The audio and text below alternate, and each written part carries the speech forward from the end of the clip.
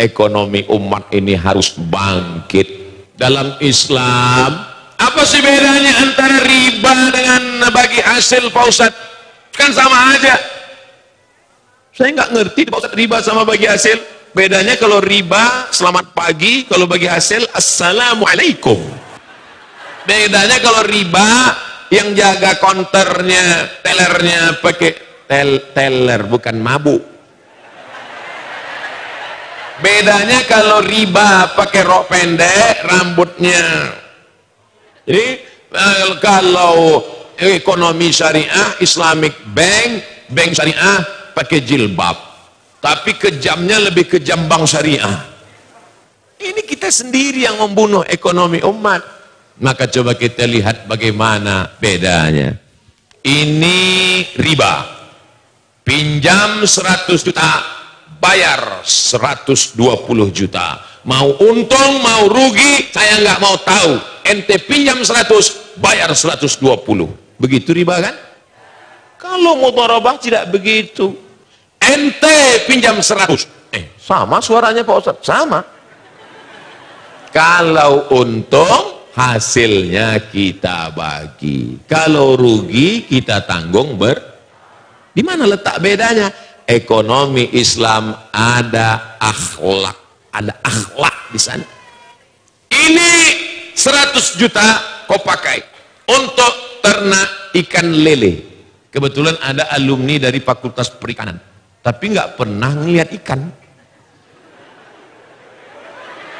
Ahli dia kalau udah disuruh seminar tentang ikan ikan menurut etimologi ikan menurut etimologi macam-macam ikan jenis tahu dia tapi nggak pernah ngeliat ikan. Judulnya apa? Beternak ikan di atas kertas.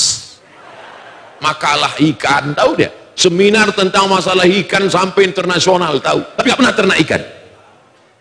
Ada nggak sarjana begini? Ada. Teori. Nggak pernah praktek.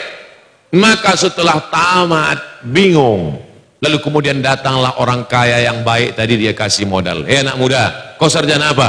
Perikanan pak. Mau saya kasih modal? Ya, ini 100 juta, silakan kau ternak ikan. Kalau untung kita bagi bersama, kalau rugi kita akan tanggung bersama. Kira-kira yang ngasih uang ini mau nggak anak ini rugi? Mana mau dia? Maka setelah dia kasih pinjaman, doa dia lebih khusyuk. Biasanya dia mau tidur malam, Bismillah Allahumma ahya tapi setelah dia kasih pinjaman malam itu dia tahajud. Ya Allah. Duitku sudah dipakai anak muda itu ya Allah. Jangan sampai dia rugi mati aku. Kalau dilihatnya udara sudah mulai mendung langit sudah mulai gelap turun hujan lebat biasanya dia kalau hujan lebat turun ditariknya selimut tidur dia. Tapi setelah uang dia pinjamkan itu begitu dia tengok hujan lebat langsung bangun sholat. Ya Allah jangan sampai ikan-ikannya hanyut ya Allah.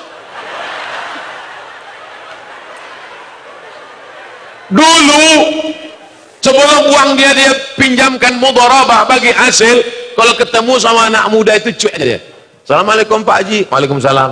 Tapi setelah uang itu dia pinjamkan mudharabah kalau ketemu Assalamualaikum anak muda apa kabar? Sehat kan? Sehat kan? Sehat? Sehat Kenapa dia tanya? Kan kalau sampai anak muda ini sakit, uang nggak balik. Jadi nampaklah di mana letak ekonomi syariah Islamik ekonomik dengan riba letaknya ada pada ah akhlak.